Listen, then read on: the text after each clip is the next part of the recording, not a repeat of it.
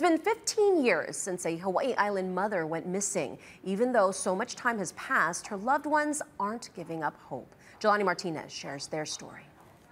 There's just no there's just no right feeling on a day like today.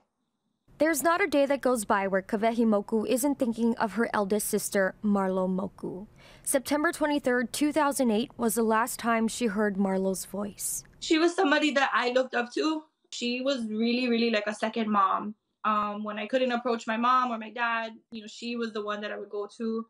Um, her smile, her personality, everything was just so radiant about her. Marlo may have gone to the 7 Eleven on Kaumana Drive to buy cigarettes, but it's a mystery what happened after that.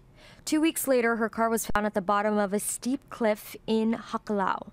Hawaii police say there was no sign of foul play, and her disappearance is still a missing persons case. a comprehensive review of the investigation.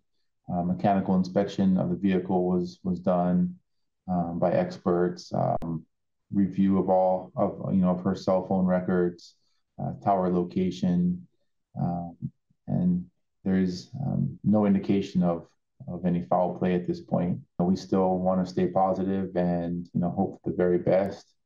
Um, you know, and ultimately, you know, the, the the best outcome at this point would you know for her to be located. But outside of that, you know, any type of closure that we can get for the family would definitely be um, you know, important to them, but also to us. Marlo was diagnosed with bipolar disorder at a younger age, but her family says she was getting treatment every two weeks. I think everybody it, at some point is feeling like, what possibly could we have done to prevent this from happening? Marlo is a mother of three. Her 49th birthday is coming up in December.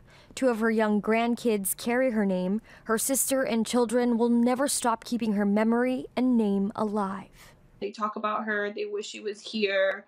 Um, and I think, and everything that they do, they strive to make her proud. Even if she's not physically here, she's somewhere in this realm and and they they truly believe and we truly believe that she's always amongst us um spiritually and that was Jelani Martinez reporting. If you have any information regarding Marlo Moku's disappearance, call Crime Stoppers at 808 961 8300.